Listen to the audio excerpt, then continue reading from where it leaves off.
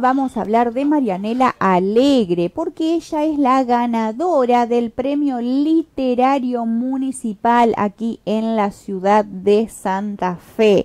Esta gran escritora, Marianela Alegre, ganó entonces el Premio Literario por su obra y en medio del río, escrita para teatro. El certamen reconoce por primera vez a ese género a partir de una serie de modificaciones que se realizaron para ampliar los alcances del concurso.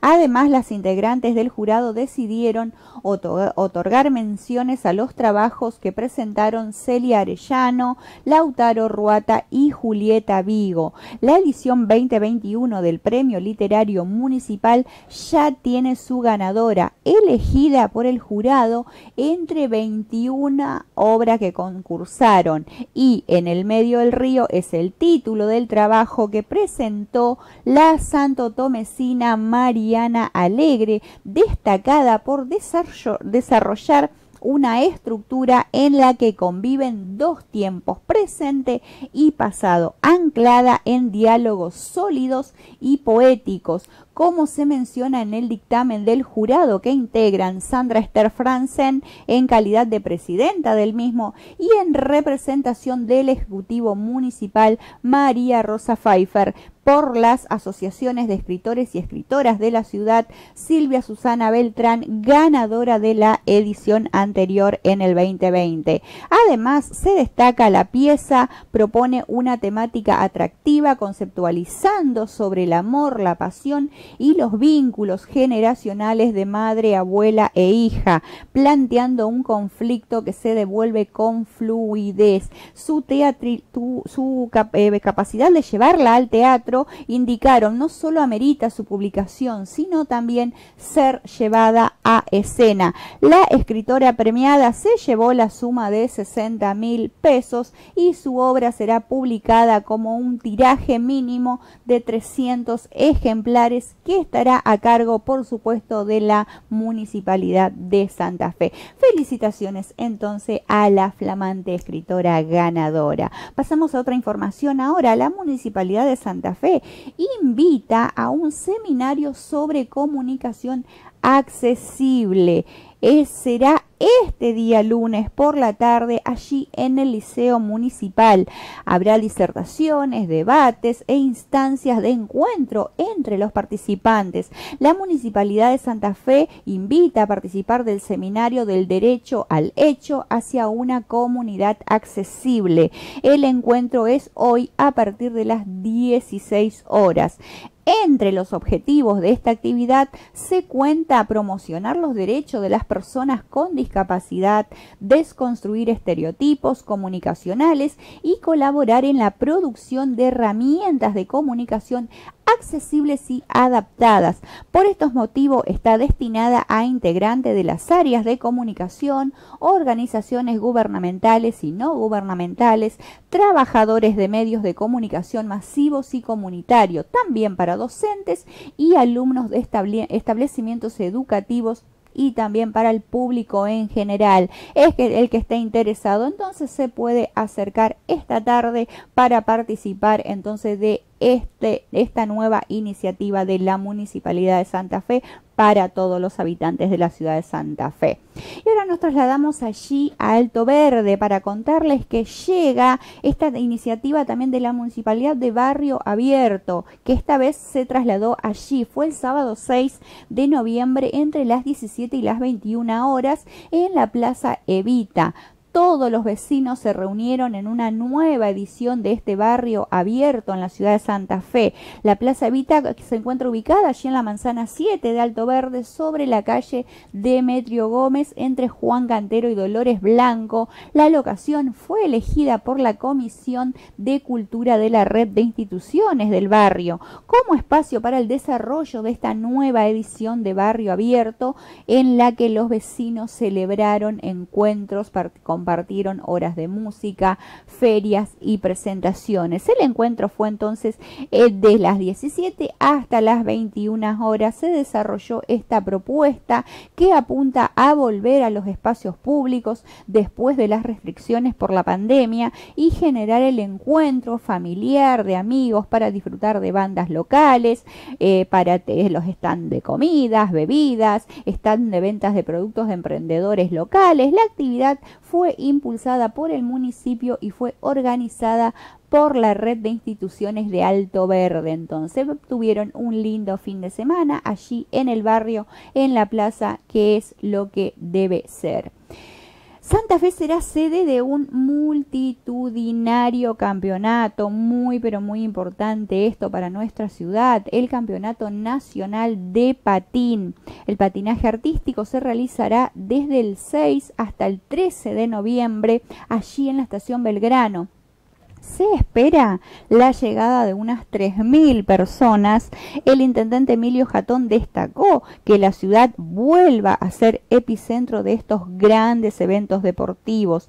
El intendente encabezó la presentación de este nuevo evento que se llevará adelante aquí en la capital provincial. Este gran campeonato nacional de patín artístico de la disciplina show, precisión y danza, en el que definirán los campeones nacionales 2021. La presentación se realizó en la estación Belgrano, espacio donde además se realizará la competencia y contó con la presencia de miembros de la Confederación Argentina de Patinaje, la Federación de Patín de la provincia de Santa Fe, la Asociación de Patín Zona Norte y el grupo de patín Vanguardia del Club Independiente de Santa Fe. En la oportunidad, Hatton mencionó que en marco de este evento, la capital de la provincia espera la llegada de unas 3.000 personas que vendrán de todo el país y confirmó, estamos casi al límite de la capacidad hotelera en la ciudad de Santa Fe, lo cual es muy importante. Entonces, esperamos entonces a estos 3.000 visitantes de todo el país que vengan para disfrutar del campeonato de patín aquí en nuestra ciudad. Municipio y las universidades presentaron el diagnóstico del transporte público de pasajero, que viene hace rato en decadencia con muchas quejas por parte de los usuarios eh, la gente se está quejando, el transporte desde la pandemia nunca volvió a su normalidad.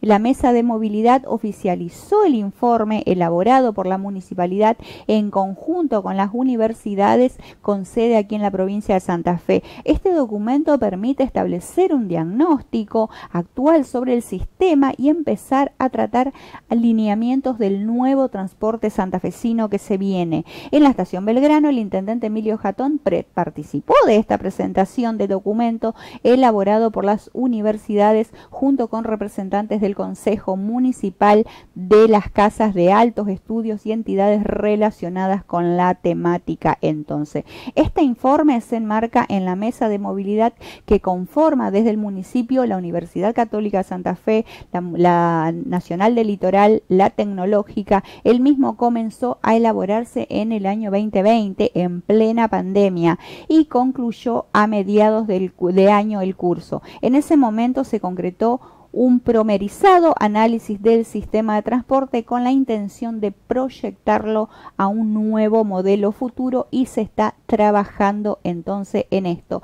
El transporte siempre fue, un tema muy importante desde el primer día, aseguró Emilio Jatón. Vamos a ver entonces cuáles son las nuevas, cuáles son las normativas que van a regular entonces el transporte santafesino.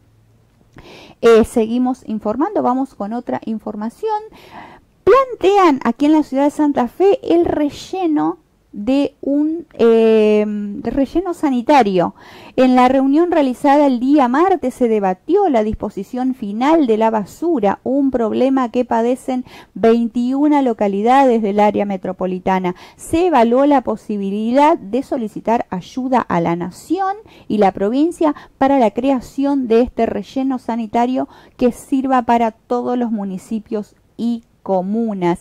Eh, fue allí en la estación Belgrano, se llevó adelante esta nueva reunión del ente de coordinación metropolitana. En la oportunidad, este, el tema excluyente fue el tratamiento de residuos sólidos. Tenemos una nota para compartir con ustedes al respecto. El encuentro estuvo convocado básicamente para dialogar acerca de eh, los residuos sólidos urbanos, una problemática que no es solo de las grandes ciudades, sino cada una de las localidades tiene dificultades al respecto. La idea fue que cada uno contara cuáles son los problemas que tienen, cuáles son las posibles soluciones.